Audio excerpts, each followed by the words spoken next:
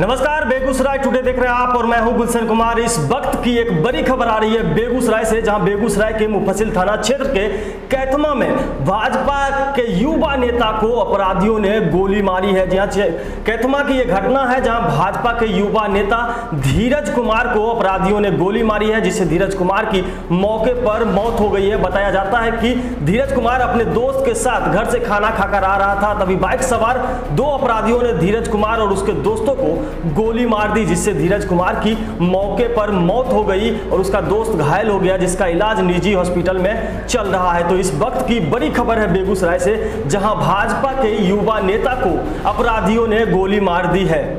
घर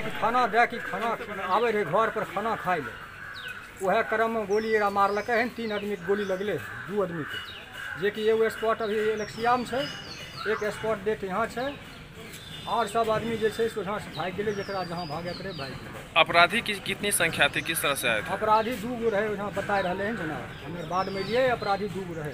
बाइक से थे? नहीं नहीं वहाँ बैठल रहे घरेलू आदमी वहाँ पे। जैसे मर्डर भले है ना जी। तो जैसे दुकान वाला आदमी कह रहे हम नहीं चिन्ह लिए जो मारने वाला अपराधी था पैदल था या बाइक से था मैं ये पूछ रहा हूँ। पैदल नहीं था मोटरसाइकिल से था। क्या नाम है आपका? शंभू कुमार। हम उसका भाई हैं चचेरा भाई हैं। बगल के चचेरा भाई।